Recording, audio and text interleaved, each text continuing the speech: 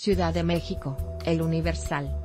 Guión en 2019 el programa Sembrando Vida que en su primer año arrancará con 220 mil empleos en los cuales los trabajadores obtendrán un ingreso mensual de 5 mil pesos por jornal.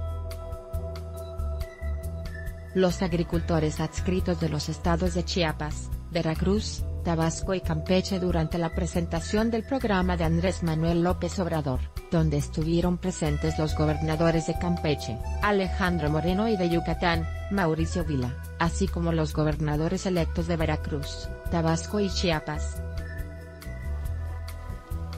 La futura Secretaría de Bienestar, María Luisa Albores, detalló que la meta para los próximos años es sembrar un millón de árboles frutales y maderables en 19 estados del país, con lo que al final se dará 400.000 empleos fijos a los campesinos.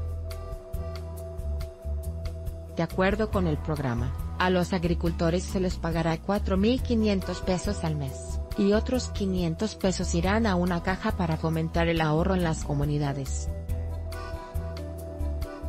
Durante el encuentro, el ambientalista Víctor Manuel Toledo, rechazó el uso de los transgénicos en maíz y soya. Las principales especies que se sembrarán son cacao, maíz, caoba, canela, agave, entre muchos más.